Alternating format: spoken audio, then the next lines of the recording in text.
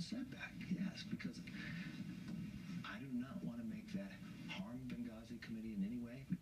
I do not want to make that harm Benghazi committee in any way. Nobody wants to make that harm.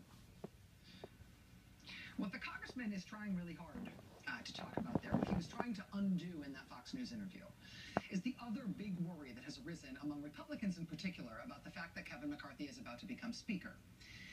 And that worry is the fact that Mr. McCarthy volunteered on Fox News this week that the Republican Party sought to bring down Hillary Clinton's poll numbers with the special select committee they created to investigate Benghazi. Mr. McCarthy bragged to Fox News this week that bringing down Hillary Clinton's poll numbers is why the Republicans created that committee. And he further bragged that that plan worked. Let me give you one example. Everybody thought Hillary Clinton was unbeatable, right?